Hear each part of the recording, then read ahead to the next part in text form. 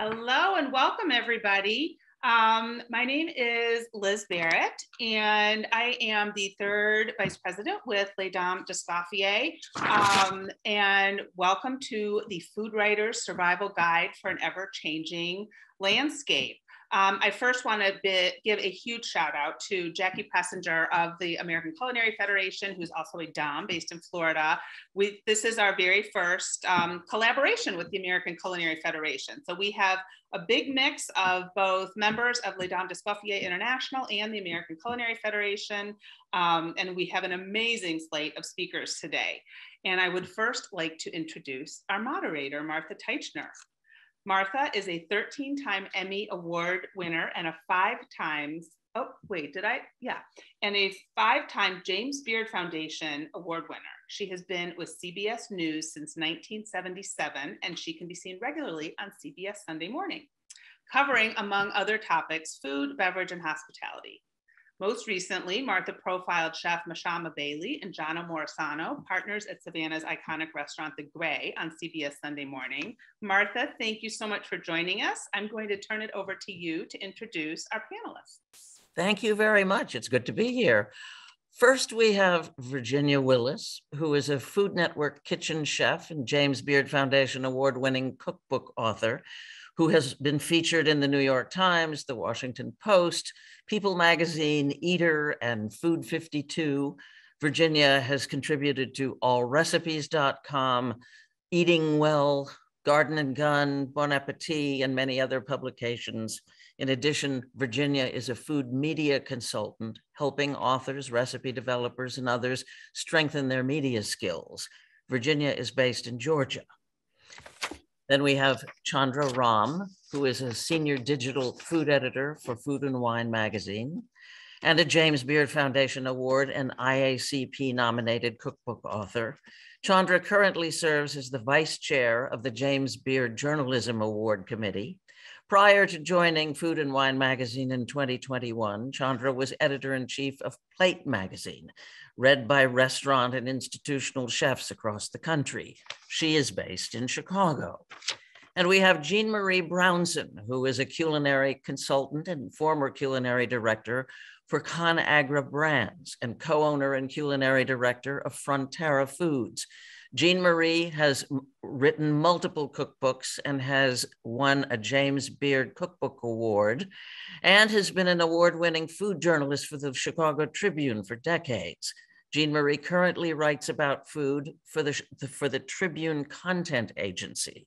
Jean Marie is also based in Chicago. So the food writing landscape has changed a lot, especially over the last two years with COVID. There are more freelance writers, few staff writers. People's attention spans have shortened, threatening long form writing. Social media has changed everything. There is more content online than there is in print. The popularity of podcasts and video has pushed written content to the side for many people.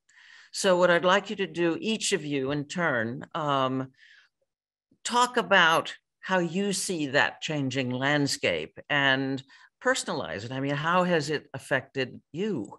And um, this has to be about five minutes each. If you could all just sort of have like an opening statement, please. Let's start with Jean Marie because you're very large in the screen right now.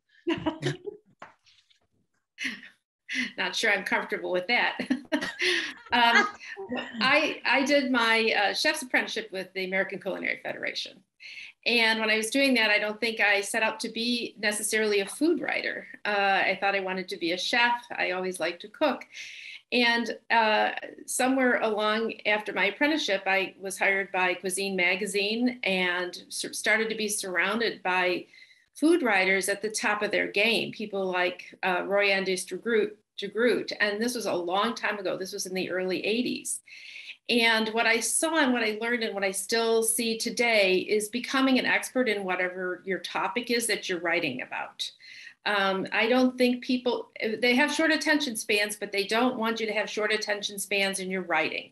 Dig deep, get into the subject master the subject even if it's a short little thing uh, for example you know how to how to peel a hard boiled egg and you're just doing a little a little snippet for that uh, really understand it you know and for me getting in the kitchen and understanding food always gives me plenty to write about um, i've my food writing has changed over the years from uh, for the Chicago Tribune, we did everything back in, in the 80s where people needed so much help back then that we even would devote half a page of newsprint, which today seems crazy, to uh, a menus of the week where we told people what to cook on Sunday to have leftovers for Monday. Uh, cooking has changed. Obviously, people aren't cooking that way anymore. Um, they they're doing shorts, you know, uh, sort of deep dives into something. They might uh, do make bake bread for a week or for a month and they really really want to understand it. Or they have 30 minutes to get dinner on the table for four. How do you write to that? Um, how do you address it? So i think staying in touch with the with who your audience is wherever you're writing know your audience. And that will be a natural way for you to just sort of be the expert in in that. Um, but it's really important today to take photographs if you're doing whatever you're doing, even if they're just uh, reference photographs. But, you know, I've taken a lot of classes on how to take photography so that I'm really good at it. I did a tremendous amount of food styling so I can couple that with my writing. That makes me a more valuable contributor to anything that I'm writing, either for the newspapers or for online or for magazines. Uh, they may not use my photographs, they may go and, and shoot something on their own, but it also makes me a food writer with more than just writing skills.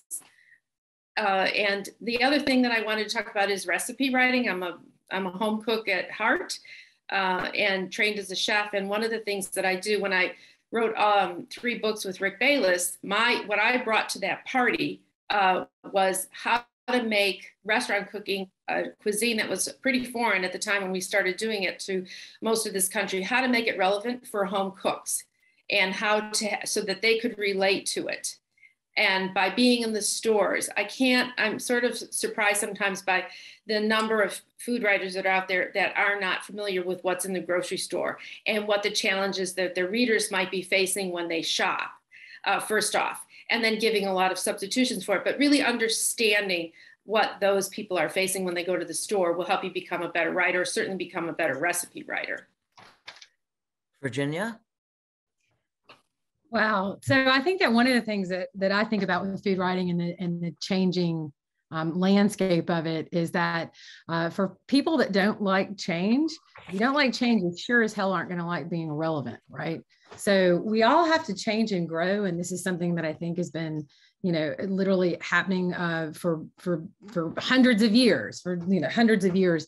Um, and food writing and to my mind one of the greatest things that's happened is that it's not simply uh, an, an essay in a, a print uh, medium. It's not just simply an essay um, in a book. Uh, there's food writing and podcasting. There's I do food writing when I'm creating the copy for or a 15 second reel, you know, on Instagram. So I think that one of the things that that has changed the, the most with food writing is um, there are two ways of looking at it like holy moly we've got so much to do. We're content creators now to wow look at all of what we get to do. Um, because it really is uh, telling a story. And to my mind it doesn't ma- matter if it's a 15 second reel or a 15000 word essay on lion's mane mushrooms. Um, our job is to tell a story. And I, I, feel like the, the most important thing is to understand um, your audience so that is something I always try to consider. Um, what if I'm if I'm doing something that's a 15 second reel on Instagram, I, I know that people have got the attention span of a gnat now, uh, and so I short, quick, bullet points, make it snappy, um, and then it's really nice to sort of be able to luxuriate in, in longer pieces and to be able to, to deep, dive dive deeper in.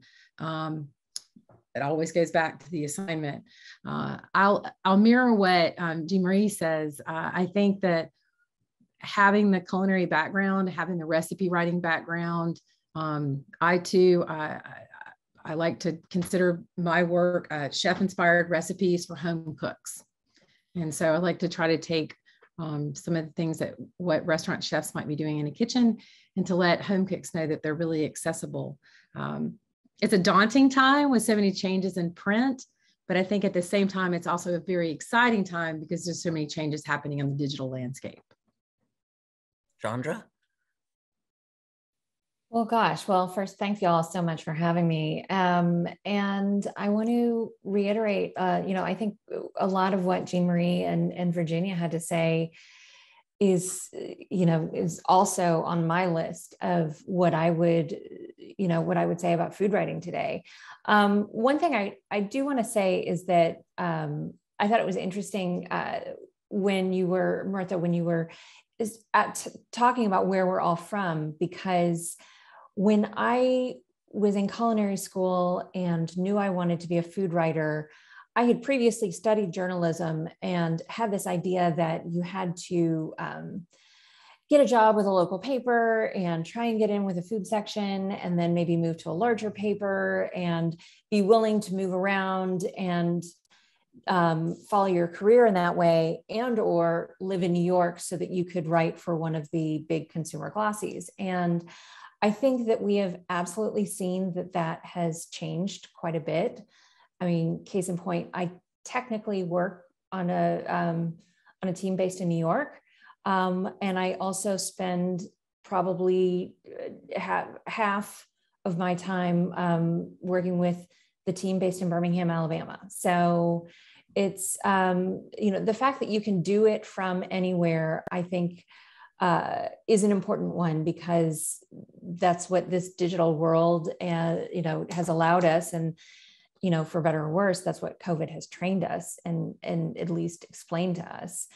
Um, but you know there there's like i said there's a lot of what uh, jean marie and virginia had said that i think is really important. Um, certainly if you are going down the path of recipe development and want to get your recipes out there and be able to write food driven pieces um, that are anchored on a recipe, having those photography skills that Jean Marie referenced um, is so important. And I think it's, you know, whether you're using a really great camera phone or you've got um, another setup, I think understanding lighting, understanding propping and plating is so incredibly important and then as well if you're looking to get you know get out there and be better known for uh, for your recipes and trying to you know to, in hopes that something can go viral or that i think that's where you really have to dive into social media in a huge way and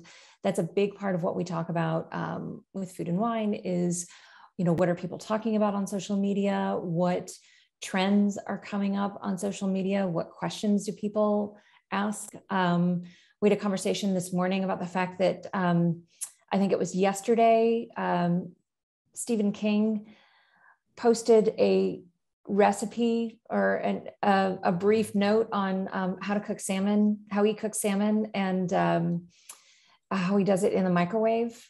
And we were talking about it in Food and Wine staff meeting this morning because that is something that was popping up all over social media. And we wanted to be able to respond to that because that's that was like one of the questions of the moment. So I think understanding that and understanding how social media is changing, um, that Instagram is really prioritizing reels, that um, you know, if you want to get your content out there, you need to get comfortable with posting quite a bit.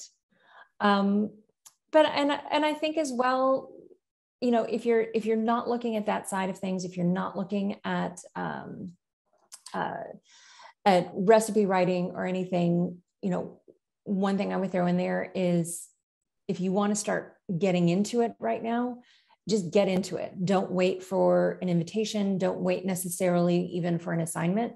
Start writing things and um, start blogging, start writing thoughtful posts on social media, just start writing because every one of us as writers only improves by writing more.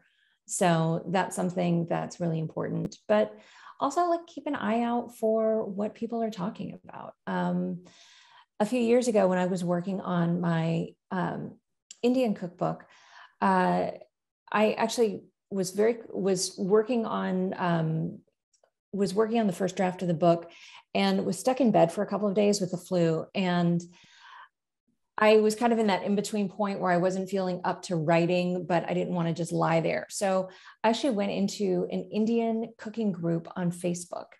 And someone had posted the question Hey, are people here Indian or are you just interested in uh, Indian food?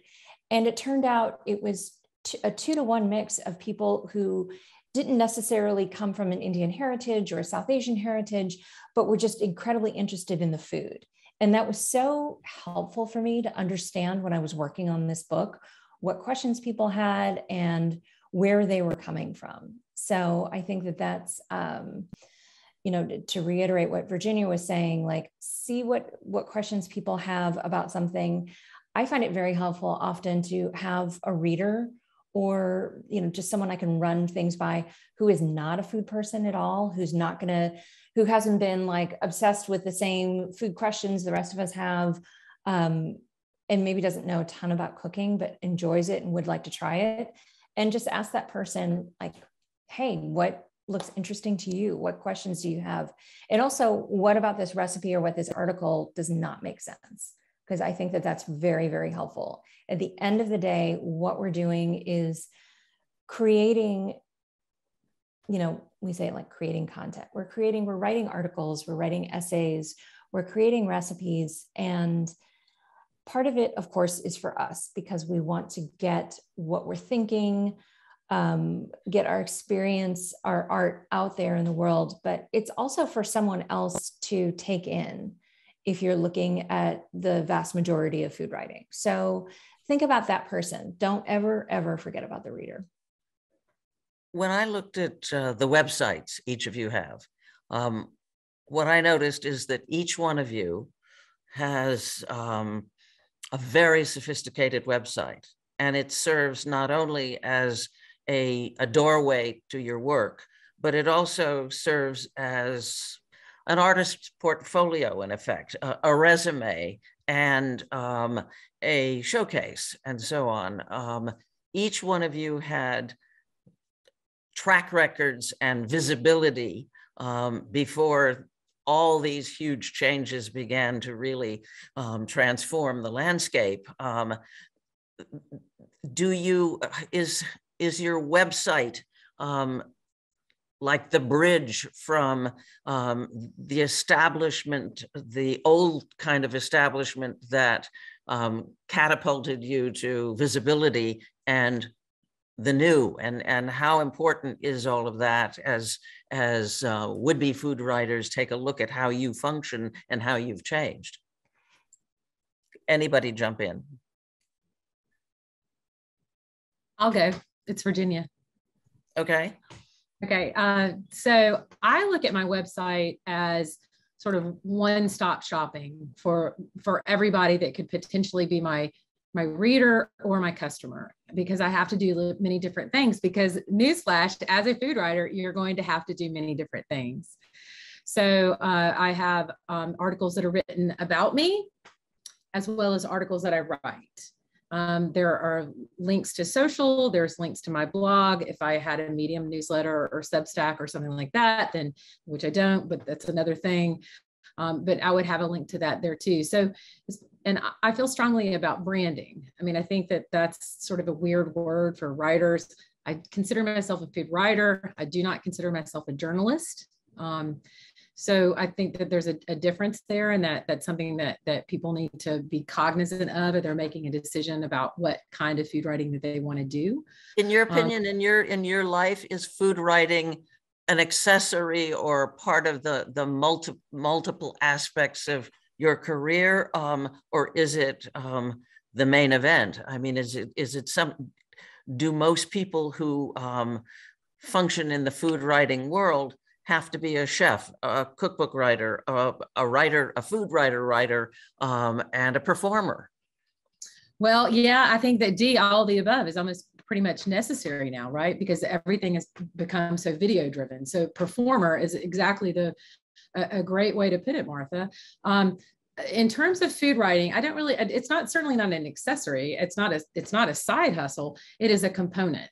And I like to think of like the work that I do is all supporting one another. There's a bunch of different ingredients going into this soup pot that creates the career that I'm able to have. Um, so sometimes I need to be able to write like, you know, this is how you make a peanut butter and jelly sandwich and it's super simple. And I just need super clear instructions for people that have no idea on how to make a peanut butter jelly sandwich. Um, and then other times I'm able to do a reel on, you know, dried persimmons or something that's like really sort of esoteric and something only that it would be um, very chef driven. Uh, at the end of the day it's all a story right? And you you know you've told stories for decades. So it just i think our parameters have changed on what storytelling is.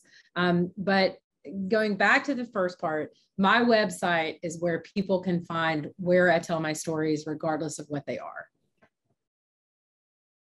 Chandra well, uh, uh, Jean Marie, you got, you started to talk and then jump yeah, in. I was going to say, um, unlike Virginia, I'm not comfortable being a performer coming from the newspaper world. I'm mm-hmm. comfortable being um, the person who brings other people's stories to life. And I think that there's a lot of uh, writers out there that aren't necessarily going to be the stars of their food writing, but they can support the people that are. Um, so many chefs okay. and professionals need someone to help them hone their story, craft what they're trying to say. And there's a whole uh, um, there's a huge career out there for people that want it in in being that support system writer. Uh, and I that's I mean I've found a lot of pleasure in writing books with chefs uh, and helping them tell their stories with their voice and helping them find their voice. It's a very satisfying way for me to write. I also love to write more about other people's things. Uh, that comes from my, my years at the Chicago Tribune, um, t- telling the stories that uh, of other writers, other experts, people that have really dug into something. Um, you know, I was just reading something the other day about Claudia Roden and all the travel that she's done in her life. And now she's writing this book um, that she's writing from her cooking from home. Uh, few food writers today can spend the years that she spent uh, researching her the food that she wrote about.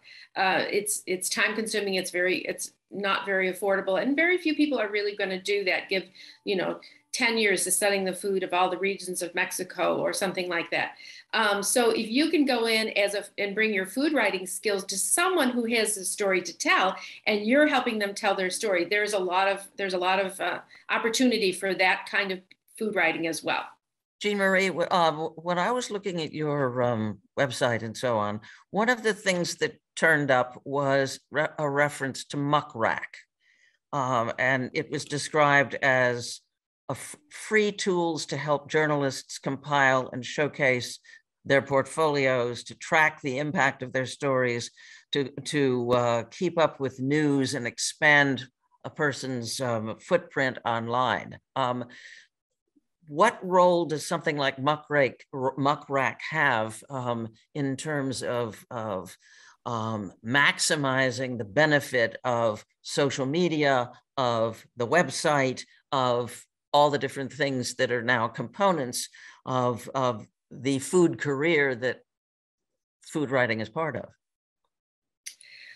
Um, I'm, I'm, actually not really familiar with Muck Rack, except that I know, uh, I'm not sure that was. It turned up when I looked at your website. I, I understand what Muck Rack is. Oh, well, like, uh, then then um, sorry. everybody else jump in because I, I found it fascinating because of the fact that it it seems to be um, for people who are just getting started or or don't know how to pull it all together that it seemed um, like an interesting um, tool. I don't necessarily know that not being able to pull it together and just starting are mutually exclusive. um, but I think that Muck Rack, um, Muck Rack is like a, a, a, consolidation service of sorts that you're able to put your um, your writers links, your your bylines. Um, I, I, feel like it's more of what I would consider almost like a journalistic tool. And Chandra, maybe you know more about this, but um, I feel like it's more like a journalistic tool that like uh, pu publishers, publishing companies, media organizations. It's it's it's a portfolio of sorts. It's a way to have a portfolio of sorts of um, online content. Chandra. Yeah, I mean, I actually don't use it um, much at all, but um, that's my understanding of how people use it. I will say, and I've noticed in the in the comments here, you know, there are people saying like, "Oh, hey, well, I don't want it to be about me," and I think that's great because there can only be so many people. Like, eh, we need people to who don't yeah, want the spotlight themselves and they want to to shine it on someone else and i think those are often so many of like the best stories that we get i will say i find it very i found it very helpful um, when i was freelancing to be able to i loved being able to update my website with different types of content because i especially took a lot of time last year and uh, did writing workshops and started to get into writing personal essays, um, which I hadn't really done much of before. And I was really proud to be able to show off that work. But I also knew that maybe someone wasn't on Food 52 at that, you know, getting the newsletter that day and and knowing what was going, you know, seeing my piece or whatever. So it's something that um, I think having having a website is fantastic um, because it just gives a landing page. If you developed a recipe and you want to send people there, if you wrote pieces um, and you want to send people there, it doesn't have to be something that you're pushing so much. But I, you know, I just like picked a uh, a template on Squarespace that looked good. Um, built it. I um, I did wind up contracting with someone to help me build it because even though they keep telling you it's really easy, I didn't find it to be that easy, but I think there's very simple like WordPress sites and things that don't need to cost much or any money at all. Um, but I will say, anytime I get a writer pitch, um, I go to that person's website. I want to see what else they've done. I want to see, um, you know, they may have, if if they've written for Epicurious, I can text my friend Maggie at Epicurious and say, "Hey, you worked with this person. Did you, and you know, was it a good experience or whatever?" I haven't worked with them. Um, I want to be able to see the breadth and depth of their expertise, of the type of work they've done, um, anything like that. So, I think it's incredibly important to be able to send editors, to send potential um, book pub, you know, book agents, publishers, all of that, like have a place to send them so they can get a sense of what your work is. So that raises the question to me of, of um, if someone is not famous or uh, as a cookbook writer or a chef or whatever, um, and they don't necessarily have a day job, if you will, with a newspaper or an actual physical magazine, uh, and so on. Um, if they're just sort of writing and throwing it out into space, um, yes, on social media, that maybe they'll establish a presence, but is there is something like Substack um, a place that, in a sense, um, will give people a place to go to find you if you're trying to establish a foothold? Well, the way I'm seeing most people use food writers use Substack these days is when they want to uh, kind of create a, a newsletter and send it out to their audience. And quite often, for very good reason, um, these are paid newsletters. And so I can't access any of the archives unless I'm a paying subscriber. So, and you're a paying subscriber to each newsletter as opposed to a paying subscriber to Substack? or correct right. you you mm-hmm. pay to subscribe to each one and so it's something that i will be perfectly honest when i when i see the thing of like "Oh, hey, i've launched this newsletter on substack i'm a little bit like oh, okay so that means i need to pay for another separate you know content stream i'm going to be getting that many more emails and that sort of thing. So i think it's i agree wholeheartedly. I mean, it's a little um, it, it's becoming overwhelming to me because my inbox is overwhelming and to get three posts a week which is what substack recommends uh, its writers do um, from each of 20 different people plus all the media things plus you know an email from my mom that i'd like to get first um, it, it gets to be tough so but you know, all of that to say is if you can do it, it's fantastic. I mean, I, I don't know any numbers here. It's my understanding that like Alison Roman is I have read that she she has the most popular uh, and like has the highest subscription rate for uh, food newsletters on Substack and is generating a lot of revenue from that. But um, you know, she's putting out content however often she is.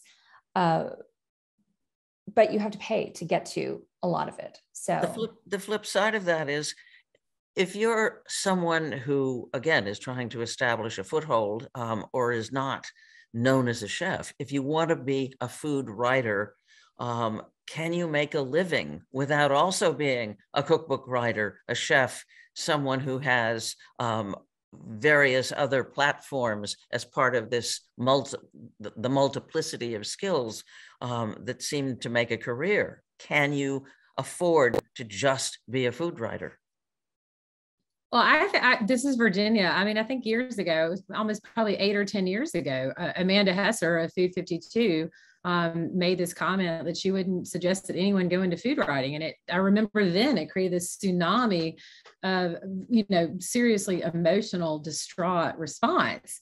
Um, it's hard to make a living as a writer. It never it never has been an easy easy way to make a living, regardless of what you're writing about. Um, and so while I definitely appreciate and understand the people that want to be more behind the scenes and write for other people, um, you know, both paths are hard. There's no way, there's no other way of looking at it.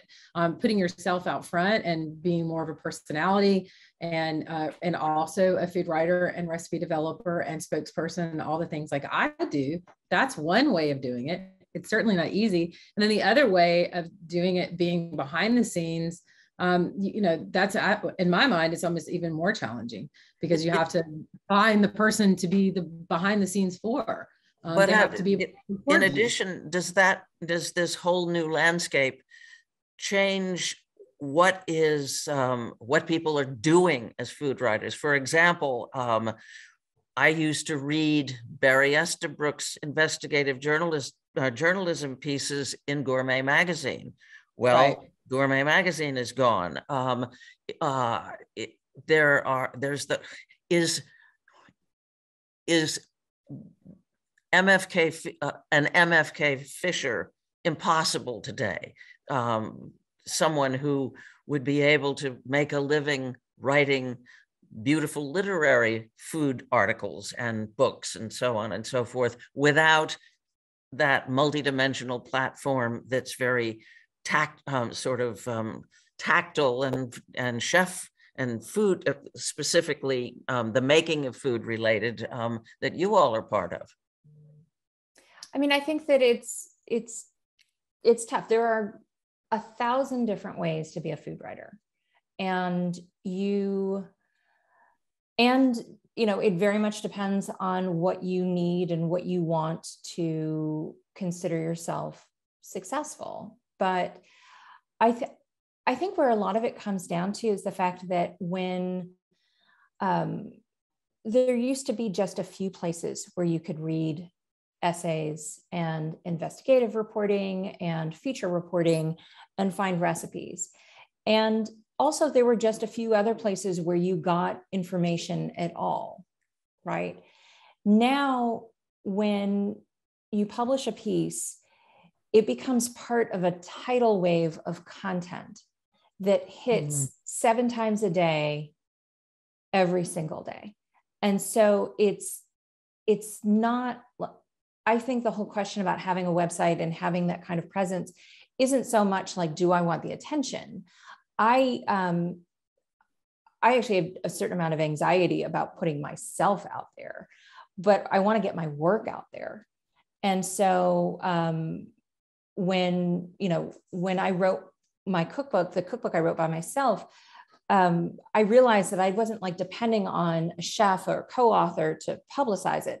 I had to do all of that myself, and it it kind of felt a little gross to be like, hey, me, me, me, and like, why don't you write about me?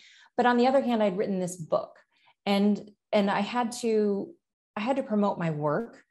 And so that was that was the point of it. And that made me feel a lot more comfortable about it because it's um, you know this idea that people seek out articles and you know whatever kind of food content um, has gone by the wayside quite a bit more, more people are looking for it to follow them around whether it's on social media whether it's via newsletters um, it needs to it needs to come to them because we have 9000 other things that we have to deal with every day that maybe we didn't have before. But how do you, it seems to me that the need with the deluge of content that that is thrown at people in the field and also layman readers, um, how else other than the website, the blog,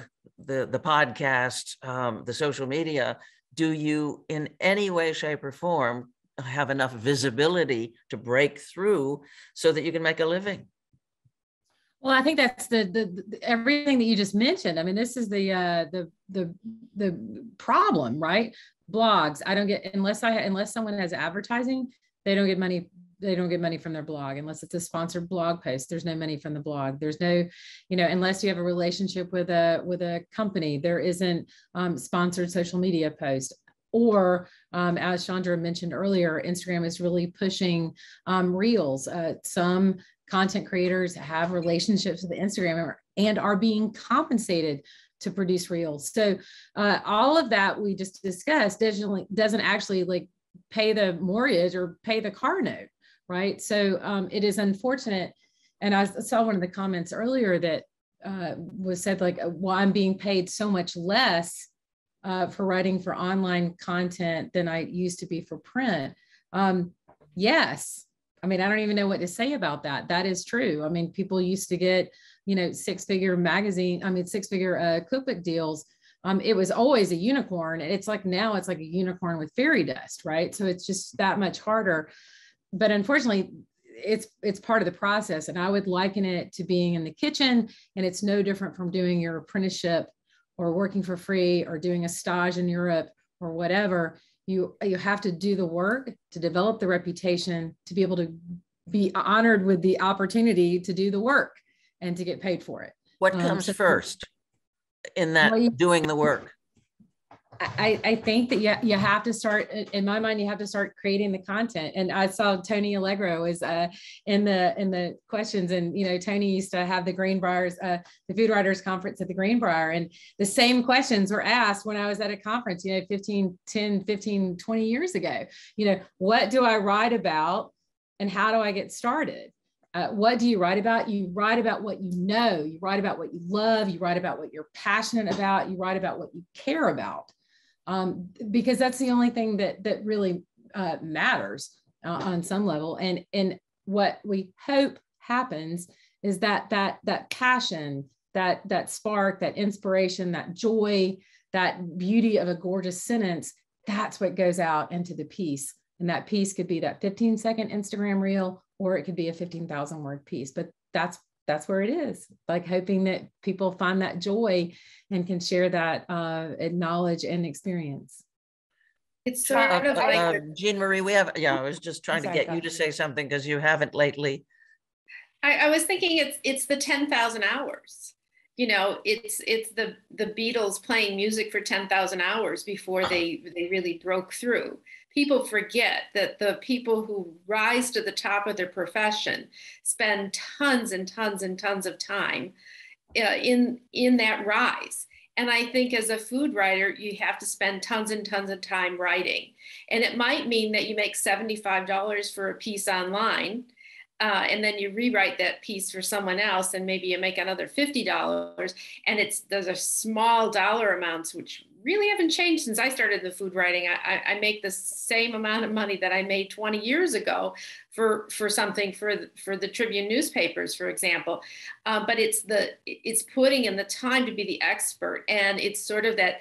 Um, I think it was Virginia that said earlier, you just have to write, and the be- the more you write, the better writer you become, um, and you find uh, you find people that edit you or you know um, look at your piece and give you really good feedback. And then you just keep resubmitting it you keep and you keep writing. And and you put your 10,000 hours into that. And if you're writing about cooking then you have to also put 10,000 hours into cooking.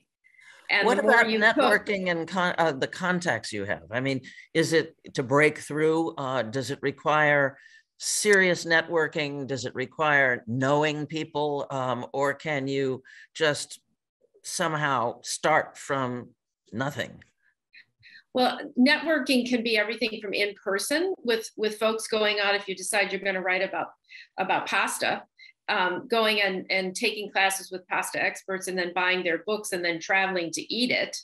Um, to some of the networking can be what your your research on your online research, your your your uh, research into what's already been written and I, I, believe in a huge believer in giving credit to something like that. If you're gonna you're going to write a, a, recipe that's for lasagna talk about where did that come from? Makes you more of an expert than saying you just created this out of your head because you didn't. Um, so the networking it is to me critical.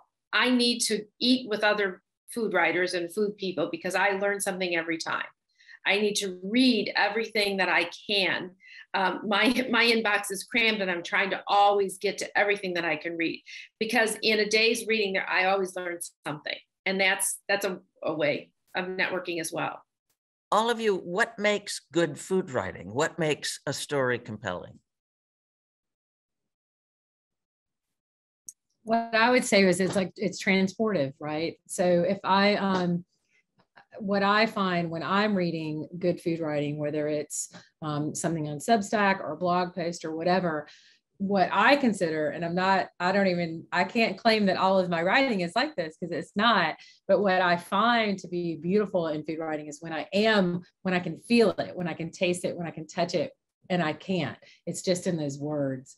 Um, so it's really it, it just goes back to that you know joseph campbell business of telling a story and what's the hero doing? And and uh, you know it just so happens on this in this instance that the hero's eating something or she. Yeah i i think it's i think you know when a piece of writing is is beautiful and it resonates because that person cares.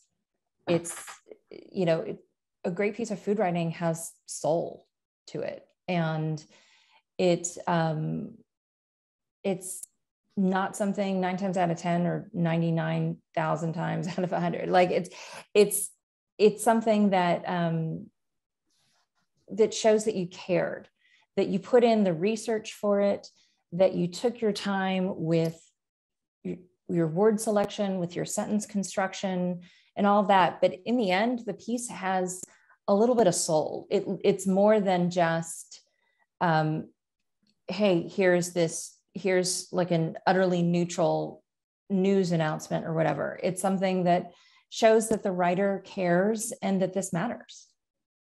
What what interests me also is is um, the definition of food writing, in a sense, to me, in some ways, is broader at the same time it's narrower in the uh, new landscape. I, I i have in the back of my head there was a series uh, charleston south carolina the post and courier newspaper uh, in a food town has multiple food writers. They have a food critic but they also have people who write about food in lots of different ways. And and um, uh, the former food critic um, or lead food writer at the Post and Courier, um, wrote um, a series of articles about restaurants that um, uh, it, it, analyzed whether or not the restaurants in Charleston were accessible to disabled people. It wasn't particularly um, reviewing the restaurants for the food, it was reviewing the restaurants for accessibility. And that a, is a form of food writing. Um, is there a broader range of stuff people can write about and get published, or is it narrowed by the fact that that MFK Fisher kind of writing is, in a sense, the domain of people who have enough visibility so that you go there to find it? Well, I think that uh, I think Kim Severson has sort of an expression, you know, it, it always goes back to food. It's always about the food. It doesn't matter if we're talking about history, uh, geography, politics, philosophy, religion. You know, um, I have a very strong belief that everything that we believe is reflected what's on the end of our fork. And I think that food is a commonality. And that's why food writing is such an exciting topic. That's why this we're having this conversation today. It's why that why there's 350 people on this call right now, um, because everyone has to eat. Um, and it, it's not just like the, the, the chef piece of it. So we're not talking about something esoteric. We're talking about something like that's nutrition that we need to sustain ourselves. But at the same time, um, food is is as we all know, it's just something that touches every aspect of our life there's always a food angle. That's what I think that what Kim Kim Kim said. There's always a food angle. So it's a, it may be about uh, uh, disabil- disabilities and access to restaurants, but it, it's always it goes back to the food. Yeah, it can be I, about I, disability. It can be about nutrition. It can be about access to healthy food. It can mm-hmm. be about what's happening with food supply. It can be about allergies. It can be about all of these things. I mean, we're also talking this morning about the fact that like all the Starbucks stores that are unionizing and the unionizing movement that's happening in America right now with Starbucks, with Amazon, um, other places. And okay, so that didn't just come out of the blue. What has happened to work life in the last couple of years, on top of what it was like before that, have all led up to those things. And so Virginia is absolutely right. I mean, we interact with food and drink ideally multiple times a day and we make these choices and there is this is it's always about food. And so you can say yes like i want to write about agriculture. I can i want to write about workers rights in the food world. I want to write about um, disability access. I want to write about flavors. I want to write about um, wine, but also like how you know how to how to make it work um, in the wine world. There's all sorts of different things that you can cover. I mean, there's it's almost limitless. I'm I'm going to uh, ask Liz whether she can um, identify a couple of questions uh, because we're going to be running out of time before we can get to too many. Um, uh, yeah. We have um, we have questions in the chat and we have questions in the Q and A. So many questions. Say what? We have so many questions. It's great. So many questions. There's like a crazy amount of conversation going on in the chat. Um, you know, I don't know if anybody has a perspective on um, how to reconcile the fact that um, writing for digital content, like website website outlets versus print, pays so much less and I think I think there's people on this who are curious about the um, your perspective on that about the the difference. I can speak. I can speak. I can speak to that, and um, I, I just would say that um, I'm not. I write for both print magazines that also go online, and I write for online publications that are only online. Um, you know none of it pays great but i don't i don't know that i see some huge difference with editorial editorial print or editorial digital because it's kind of all the same thing because any of the media companies are are doing the digital. And you know two magazines within the past month um, eating well and martha stewart are no longer going to be printed publications. They're not going away they're just going to be digital. So um, I don't I don't know that uh, I don't I don't know that I can speak to the difference because I think that their editorial is both fairly low. The the the the difference that occurs is when you know whether it's um, editorial or advertorial or sponsored and that that becomes a different thing. But edit, editorial rates for um, recipe writing and and um, and food writing are low. They just are. We're not basketball players Chandra or Jean Marie, anything to weigh in on that? And like I said before, it hasn't changed. The rates really haven't changed. And so it's all about if you want to make a living at it, you've got to be really prolific. And I think uh, your chance of getting into print is it you might submit an article to a magazine that might be a year or two and you have to stay ahead of it. You have to work with those editors to know what they're looking for when they're looking for it and it might be months and months in advance. But if you're writing for somebody you know for um, epicurious or something a, a website it's much more immediate and and then hopefully then the paycheck is as well so uh, yeah good I think another um, interesting question we see is with the the proliferation of Instagram and TikTok and all the different social media outlets, is the cookbook dead? No. No, it isn't. I remember no. when Kindles came out and people said, "Oh, ebooks like cookbooks are now dead," and um, cookbooks were the, you know far and away the strongest print category after that because we want to sit and look through flip through books and see photos and experience experience them that way. I don't know. I feel like i feel like virginia needs to like this is her thing. Cookbooks aren't dead. Cookbook, no cookbooks there was more dead there was more than 450 entries in the IACP cookbook panel judging. I'm sure James Beard had, had, had at least that many. So those are people who felt their, their book should win an award and they submitted it. That means there's many, many more books than that out there. And I can tell you, I'm a cookbook fanatic, I probably want to own out of those 450, I'd like to own about 300 of them because there's something in everyone that I, in, in, every one of them that I can learn, or there's a, there's a voice that I'm interested in, or a story they're telling, or a recipe that I want. And, and I'm not alone. And I'm no longer discouraged if someone says, oh, you know, the average was that if everybody makes three recipes out of a cookbook, that that's a high number of recipes for them to cook that's okay with me because if they're cookbook followers, they probably have read it, they're learning something there. Uh, from there, um, I don't expect anybody to make 50 recipes out of my, one of my books. Um, you know, although I've made 50 of Virginia's recipes, I'm sure. Uh, You're such a good recipe writer. Thank you so much, Jean Marie. That's awesome.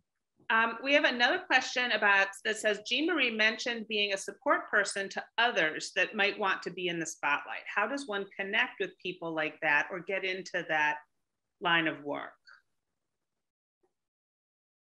Well, if you're a frequent diner at your favorite neighborhood bistro and you love what that chef is doing, uh, for example, and you get to know them, uh, you can say, well, here, I, have got this idea for you, and I'm willing to help you craft it into something.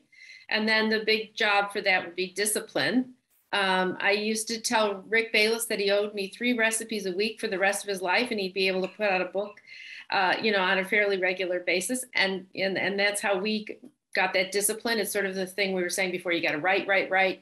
If you're going to write recipes, you got to keep writing recipes, but find uh, what Virginia and Chandra was saying earlier. Find the passion that you feel like you want to spend a year or maybe two years of your life working. If you want to pull it into a cookbook, or you want to start with just an article for some online publication, um, really being interested, really wi- willing to commit your life to that story, telling that story for for someone else and with someone else. I see a question here. Do cookbooks make money for writers these days? I got the impression that that maybe less so than before.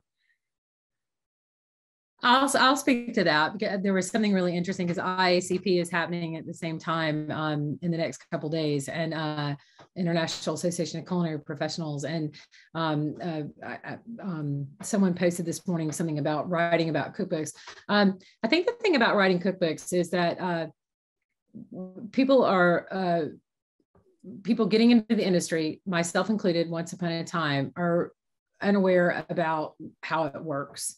So people are paid in advance, and advances can be anything from like five thousand dollars from a small university press um, to you know to the unicorns with glitter and stuff, which is like two hundred fifty thousand dollars.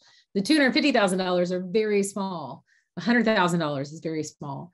And then you also have to think about the fact that $100,000 essentially covers a two-year project. Um, and often because of the way that the payouts occur, um, let's just pretend it's $100,000. You might be paid 25,000 upon signing, 25,000 upon uh, submitting a manuscript. Uh, Random House is 25,000 um, upon publication, and then uh, and then 25,000 upon uh, six months after publication. So it may be $100,000, but it's $100,000 at best, um, broken out over two years. And $100,000 uh, is a lot of money in the cookbook world, right? It doesn't happen for many people. Um, most advances are 20,000, 40,000 or below. Um, so cookbooks are not a way uh, to make a living. It's just the reality of it. What I feel that cookbook publishing, whether that's in front of the in front, like myself, or behind the scenes, like someone like Jean Marie, um, that's a consulting project, I would imagine for her. But uh, cookbooks are a way to be able to do other things. So if you have a cookbook, then you are an authority and you are able to get writing assignments. I might be able to write for Chandra because I have a writing, I I've have a cookbook on, you know, skinny baking or healthy baking now or something like that. So she might reach out to me with with her publication that that I could write. So the thing that a cookbook allows is it allows you the authenticity and the authority. And I feel like that that is where um, cookbooks allow the your one's career to grow and to have that presence. I'm interested in asking Chandra a question about uh, that sort of growing out of that. Mm-hmm. Um, you see things come through the transom, if you will. You you uh, have talked about being deluged and so on. Um, who is getting published, uh, and who are the cook? Uh, who are the food writers that are getting published from where you're sitting? And um, how old are they? And uh, just give us a sense of, of, of who makes it. You know, I, I will say for all of the discussion that we've had about getting your name out there, and I, you know, 100% agree with what Virginia was saying about cookbooks. Like it winds up being like a business card you can't fit into your wallet. Um, but um, you don't have to necessarily be a big name chef to get a writing assignment for sure. And I think that uh, Food and Wine is among many publications now who are actively seeking out new voices. And we want to make sure that, in particular, that it's we're working with people who have expertise. We do want to see that you've that you've written before. Um, if I'm planning on featuring your story and it doesn't come in, then that means I still have to publish something that day, but I need to pull it out from somewhere else. I need I need to and oftentimes write something myself to make up for it. So I want to make sure that you're reliable. I want to make sure that you um, that I can trust you, um, that you uh, you know you're not cribbing from other sites and things like that. Um, but as long as I can read some examples of what you've done. Um, it doesn't have, you don't have to have a big name out there for sure. And I will say that um, I'm particularly because also um, from my perspective of being um, a third generation kid, I have an Irish mother and my father was Indian and I grew up in Kentucky. I'm always interested in people who are coming, they might be coming very much out of the woodwork with a different perspective of, um, hey, I grew up, uh, you know, mixed race, or my family has this culture that hasn't gotten out there that much, but I would love to be able to tell my story. If you can tell your story well, then I want to hear it. I'm afraid um, I'm going to have to end these stories because our time is up and um, I'm going to turn it back over to um, the uh, the uh, to either Jackie or or um, uh, whomever. Um, that, that's me. I was. So you're going to say goodbye. I know. Yes, we have we have had an amazing hour, and I'm so sorry we couldn't get to all the questions. I want to say um, Martha, thank you for taking the time. And Chandra, Virginia, and Jean Marie, just amazing insights and ideas, I think inspiration. this um, was recorded, so everybody who registered will get an email tomorrow from the American Culinary Federation with the link to the video that um, it will be open to all if you want to share it with anybody. And we will be sure and put each of our um, speakers' websites in there. I saw a note in the chat that everybody was interested. So we'll be sure to put that in the email. And Jackie, I'll email those to you. Um, so thank you for joining us and thank you, American Culinary Federation. This was an amazing collaboration, I think. Thank you. Thank y'all. Thanks for having us.